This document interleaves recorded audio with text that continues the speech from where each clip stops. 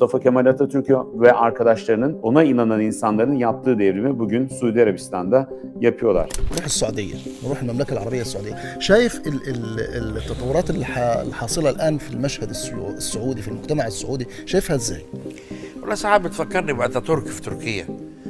يعني الأمير محمد بن سلمان بيحاول Arabistan ve bazı şeriat ülkeleri gittikçe laikliğe yaklaşıyor. Biz de laiklikten uzaklaşıyoruz. Peki bu doğru bir tespit mi? Evet. Her ne kadar hala Arap ülkeleri özellikle Suudi Arabistan bağlamında konuşacağız. Çünkü orada Prens Salman'ın durumu çok farklı. Hatta kendisini bir devrimci olarak atfediyor. Özgürlükler, kadın hakları bağlamında Avrupa'nın ve hatta Türkiye'nin bile çok gerisinde olsalar da artık değişmeye başladılar. Ve ben bugün gözle görülür bir şekilde değişen ve layık anlayışa yaklaşan Suudi Arabistan ve Prens Salman'ın yaptığı değişiklikler hakkında konuşacağım. Filmi başa sarmak gerekirse Arap ülkelerinin zenginliğinin kaynağı hepimizin malumu petroldü. Ancak bu petrol bir noktada bitecekti ve Arap ülkelerini bir korku sardı. Bir insan ömrü için 20 yıl 30 yıl çok fazla olsa da bir ülke ömründen bahsediyorsak 20-30 yıl çok da uzun bir süre değildir. Ve bazı Arap ülkelerinin bu kadar bile zamanı kalmadı petrollerinin tükenmesine. Ki petrol tükenmese bile dünya zaten farklı enerji kaynaklarına yönelmeye başladı. Yani anlayacağınız Araplar şunun farkına vardı. Biz bu petrole dayanmaya devam edersek günün birinde öyle böyle patlamayacağız. Tüm bu zenginliklerimiz yok olacak. Bunların farkına varan ve ülkesinde bir değişikliğe gitmek isteyen en önemli karakterlerden bir tanesi de Prens Selman'dı. Suudi Arabistan'da kadın hakları yoktu. Özgürlükler çok kısıtlanmıştı. Turistik amaçlı ülkeye gelen azdı. Kapalı bir kültür olarak biliniyordu. Başta Arabistan'ın ve diğer Arap ülkelerinin de bu imajı düzeltmeleri gerekiyordu. Bunun için çölün üzerine inanılmaz şehirler inşa ettiler. Dünya Kupası'na ev sahipliği yaptılar. Atlarından çok söz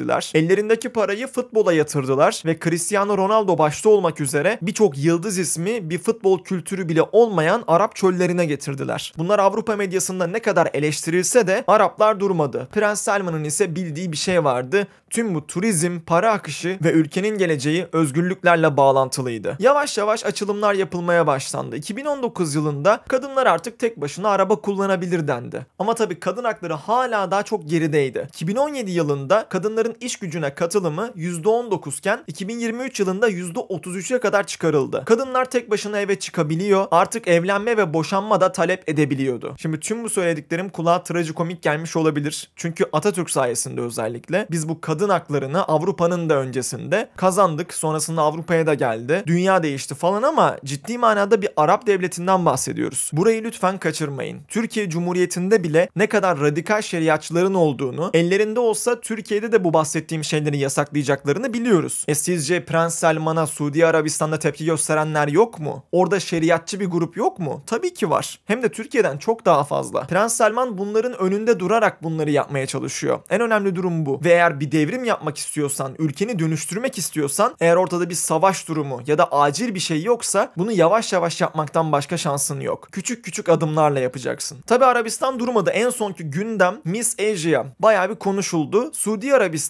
tarihinde ilk defa bir güzellik kraliçesini yarışmaya gönderdi ve Prens Selman Suudi kadınlar nasıl giyineceklerini artık kendileri seçeceklerdir tarzında bir açıklama yaptı. Bunlar çok önemli şeyler. Hatta bu kadın üzerinden Türkiye'de yeniden bir şeriat layıklık tartışması açıldı. Kadın da Türkiye'de popüler olmasını yanlış anlayıp Türklere yanıt vermiş hikayesinden. Oysa biz o kadın üzerinden bambaşka bir şey tartışıyorduk. Gerçekten de fotoğraflarına falan baktığınız zaman asla bir şeriat ülkesinden çıktığına inanmayacağınız bir kadın ülkesini temsil etti.